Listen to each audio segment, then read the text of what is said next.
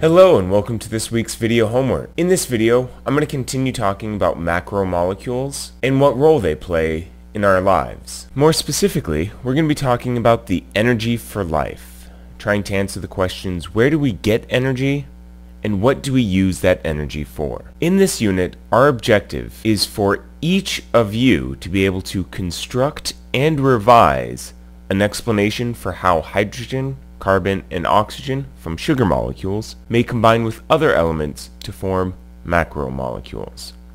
So in this video, I'm going to walk you through how you might construct and revise such an explanation. So again, if I were to ask those questions, where do we get energy and what do we use energy for? A very basic answer might read something like this. Animals, like humans, get energy from our food and we use it to help our bodies grow and move. If I were to grade that as your teacher, I would give that a developing proficiency. Reasons for that is the explanation is pretty limited, mostly just to very obvious, easily observable events. And while you do talk about food and the, the energy in it, you're talking only a tiny bit about matter, uh, and the you don't really map out where the energy goes, how the energy is transferred from one location to another. So how could we revise it? How could we make it better? This week we looked at a few of these evidence statements on these posters, and we can use that information to start to improve on our answers. One poster read, all organisms take in matter. That includes plants and animals and bacteria, all organisms. Another concept here is that sugar is made of carbon, hydrogen, and oxygen. And lastly, Another statement is that macromolecules are mostly made of carbon, hydrogen, and oxygen. If you were going to put these evidence statements together, you might get a slightly better explanation. All organisms take in matter, such as the atoms carbon, hydrogen, and oxygen. These atoms can form sugar. Once eaten, the molecules of sugar can provide the same atoms for building up macromolecules. This answer would get you a close to proficient because your explanation starts to go into a little bit more detail. You're starting to explain individual parts of what's going on, the carbon, hydrogen, and oxygen. And it also shows how that matter can cycle from sugar into macromolecules. And it also shows that those atoms aren't destroyed or created, they just transfer from one place to another. But this answer starts to leave out a little bit of the discussion of energy. So let's again try to make it even better. Let's look at two more evidence statements. This poster reads, chemical reactions can rearrange molecules and make them more complex. Another statement, chemical reactions can capture energy to make molecules and release energy when breaking down molecules. So considering that information, we might be able to construct an even better explanation. All organisms consume matter. For example, plants take in matter and energy to form sugar molecules. These sugar molecules have the same atoms as most other macromolecules, and various chemical reactions can reorganize sugar into more complex macromolecules. Energy is absorbed when these molecules are made. That's starting to get better. This is a pretty good explanation. However, it would probably only get you a proficient in my class. The good parts of this answer are that you're able to focus in on the unobservable parts of this phenomena of sugar becoming macromolecules. You're focusing on the atoms. Also, we were able to revise it based on new evidence which is good. And more specifically, we're starting to get into this idea of energy going into and out of each of these reactions. The energy is, go- is going into the process to make the sugar, and then energy is coming out of sugar and going into other molecules when they are being made. You're showing this flow of energy while matter is changing forms. This is a much better explanation. But I wonder if we can make it even better. The last post that we haven't looked at says sugar molecules are the fuel for life. When sugar is broken down, energy is released. This ties to a fundamental law of nature that says energy cannot be created from nothing. So where does this energy come from? Where do we get energy that's in this sugar? As we've been discussing before, photosynthesis captures sunlight energy, and that energy is stored in a molecule of sugar. And then when that sugar is broken down, that energy can be released. So that makes me start to wonder, how much energy is actually in sugar? If you took a single gram of sugar, that gram contains just about 4 calories, which isn't a ton, but a gram is a very small amount. Go ahead take a look at any of your nutritional facts on any of the food that you have around you. Take a look and if you can find the number of calories and the total number of sugars or carbohydrates, sugars and carbohydrates have the same 4 calories per gram, and you can probably figure out how much of the ca total calories comes from sugar. In this case, there are 27 grams of sugar in this energy drink. 27 times 4 would be about 100. Well, it would be a little bit more than 100. It'd be like 108. So it's close. 27 times 4 is about 100. That's where the 100 calories comes from in this energy drink. Humans, we use about 24 to 191 calories every hour, depending on how active we are. If a human were to be sleeping for 24 hours straight, they would require 550 calories just to stay alive. That's like less than a single fast food meal for an entire day if you were sleeping all day long. However, if you are very active, you're using close to 191 calories per hour, you would require 4,000 calories each day. On average, humans usually take in about 2,000.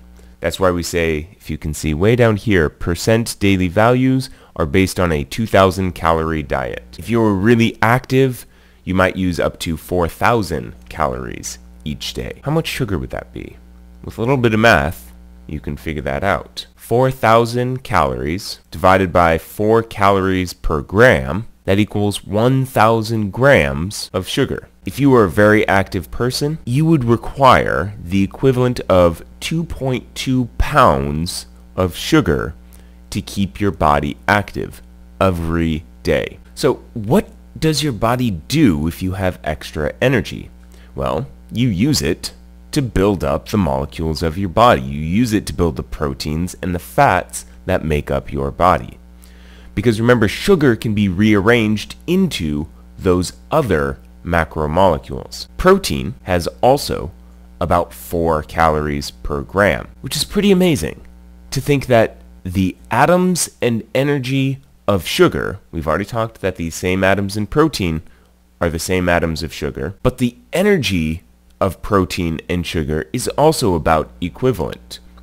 So for every extra gram of protein that you eat that you don't use as energy, you can convert those atoms into protein. You can take in sugar and use the energy of sugar and the atoms of sugar to make the same energy, the same atoms of protein. Lipids, fats, are a slightly different story. Lipids can store energy much more efficiently a lipid contains 9 calories for every gram. They contain a lot more calories in the same space. 9 calories is a lot more than 4 calories, so if you eat 1 gram of sugar, you would not be able to make 1 gram of lipids. You need to get extra energy in order to build a single gram of lipids. 3 grams of sugar would provide you with about 12 calories. Once you had those 12 calories released from sugar, you could capture that energy into a single gram of lipids. The atoms of sugar make the atoms of lipids, but you need two to three times as much energy that's found in sugar to make a single gram of lipids, which has 9 calories. Let's do a quick math problem here. You need 2,000 calories every day. Suppose you eat 3,000 calories in sugar and protein. If all the extra calories are stored as fat, how much weight will you gain? So we can write that out. 2,000 calories are used, but 3,000 calories are consumed, which means 2,000 minus 3,000 is 1,000 calories are left over. If 1 gram of fat contains 9 calories and you have 1,000 extra calories, that works out to be 1,000 times 1 ninth. That equals, type it into the calculator, 111 grams. I'm going to do a quick conversion here. That equals 0.25 pounds. So if you eat three, if you eat 1,000 calories more than what you use, you would gain 0.25 pounds each day. That would be the same as 1.7 pounds every week, or 7.36 pounds per month. What is that over an entire year? That's 90 pounds every year. If you were eating 1,000 extra calories every day, you would gain 90 pounds of fat every year of your life that you'd be doing that. Luckily, it's very difficult to eat an extra 1,000 calories every day. So anyways, let's put it into a single explanation. How do the atoms of sugar become the atoms of macromolecules, and how does the energy get used and transferred from one molecule to another? Here's my final explanation. All organisms consume matter. For example, plants take in matter and energy to form sugar molecules. These sugar molecules have the same atoms as most other macromolecules. Sugar is composed of carbon, hydrogen, and oxygen, and proteins are composed of carbon, hydrogen, and oxygen, with only some extra nitrogen. Various chemical reactions can reorganize sugar into more complex macromolecules. Energy is released when sugar is broken down, which can be captured to build other macromolecules. For example, sugar releases 4 calories per gram, and proteins require 4 calories per gram to build. In order to build lipids, more than 2 grams of sugar must be broken down in order to capture the 9 calories found in a gram of lipids. The macromolecules that make up living organisms come from both the energy and the atoms from the breakdown of sugar molecules. Further investigations are required to give a better explanation of what happens when sugar is broken down. This would be a highly proficient explanation. Specifically, the explanation uses examples to highlight each part of the explanation, talking about the atoms and the energy with both the calculations and the composition of proteins. And it also identifies weaknesses in the explanation and tells us that further investigations are required to make it even better. In this explanation, we can track the cycling of matter, the carbon, hydrogen, and oxygen between various molecules, and we can track and describe how the energy from sugar is used to build up macromolecules, as well as the atoms of sugar being used to build up macromolecules. This is a highly proficient answer. So thank you for watching today, and I hope that all made sense. When you come to class, We'll be using a lot of the same information to do a lot of the similar work where you'll be writing explanations to describe how macromolecules are formed. But for now, I will leave you with the song, and I can't wait to hear the questions that you come in with.